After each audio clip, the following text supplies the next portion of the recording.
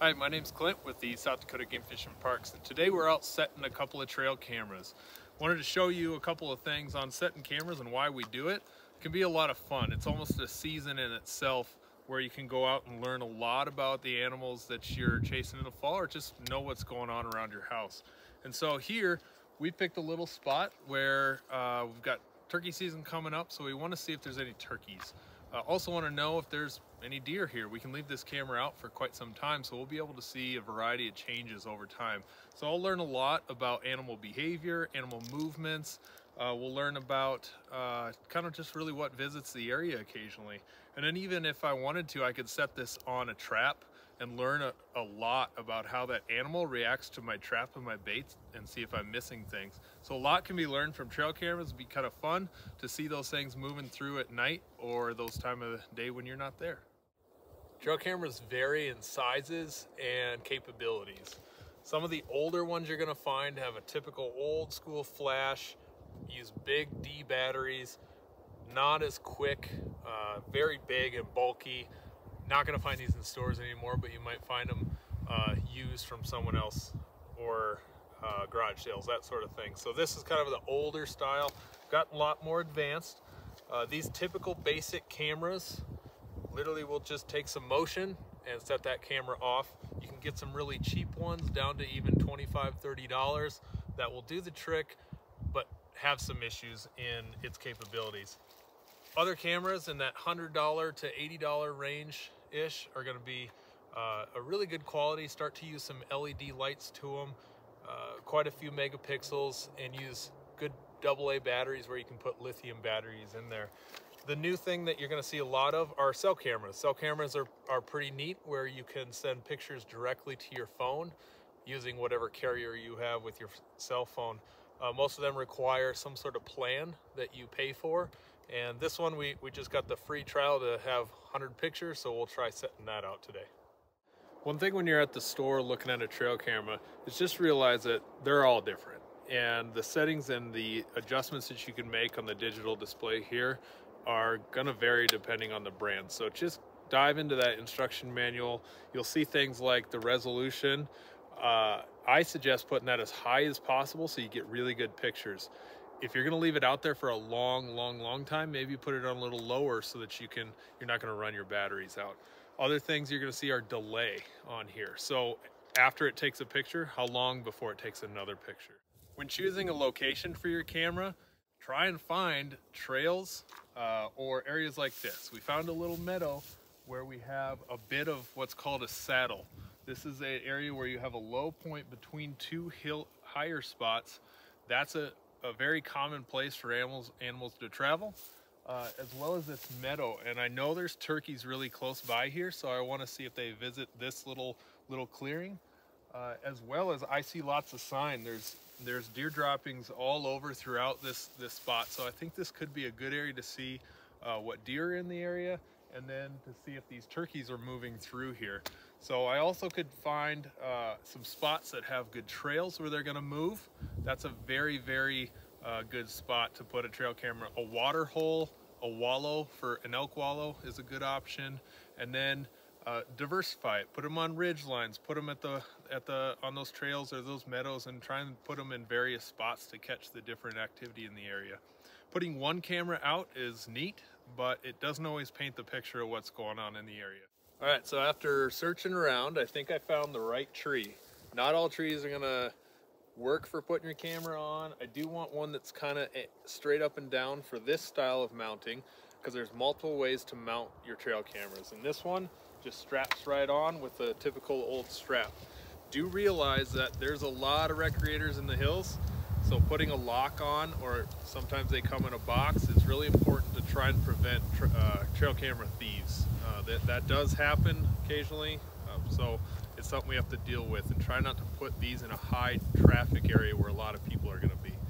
So I'm gonna mount this thing actually a little higher than probably some people will. You can experiment with different heights on the tree, but I like it up a little higher so it's not catching any of the movement of the grass, which will set your camera off and give you some false pictures.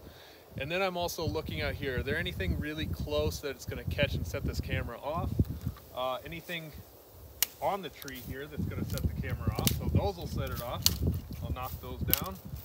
Okay, strap this in right about there. And what I wanna do is hit this thing at the point at which I really am, am focusing on getting a picture of where I think that animal is gonna be. Now you can reference your camera's instruction manual. It'll tell you the range at how far out it'll capture. Uh, and that's gonna be a big determinant how far out you're expecting to catch something. All right, so a couple of little tips when setting these is I like to put these, if I can, facing either north or south. Because as you go through in the beginning of the day and the end of the day, you get that rising sun and setting sun where you have that really low light. And that low light can trigger extra pictures and give you some bad exposure and not so not get what you want. So by putting north and south, we're we're getting not that sun to, to set the camera off. Another little trick that I saw that has been a lifesaver is trying to line this thing up. So I use my phone. Instead of trying to line up where that's aiming, I turn my camera on on my phone and I set it over top of the camera to see exactly how that camera is seeing and I take a picture. Then I'll look at that picture and see what that camera will catch, capture and I'll try and if I need to move that up, I can move it up. I can take a stick loosen it and shove that underneath something to get the better angle or shove it up there to get that better angle.